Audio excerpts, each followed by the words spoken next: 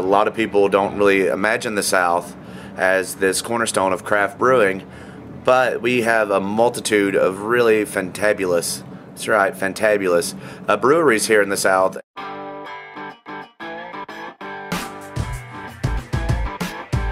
Suds of the South is a celebration of the Southern breweries.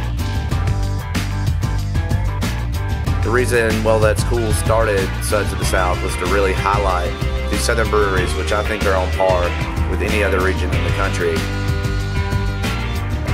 This year we had 12 breweries, 11 from the South, and one, our sympathizer from the North. Thank you. Bell's Brewery was there.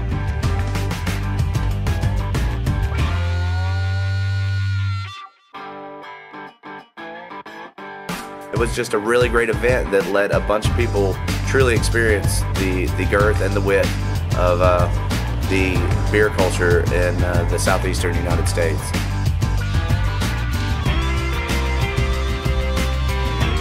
This year, we more than doubled our attendance. We ended up with a final take of 424 people, uh, plus designated drivers, and everybody had a great time. It was something that's really grown. The interest is there, and this is great because it increases awareness. It gets people out there that'll try something, and the next time they go out to their local pub, they'll go, I want to have a good people. It was delicious. Let us drink local. Let us support the people that are in our region. Not saying that you can't have a beer from somewhere else. Everybody loves to.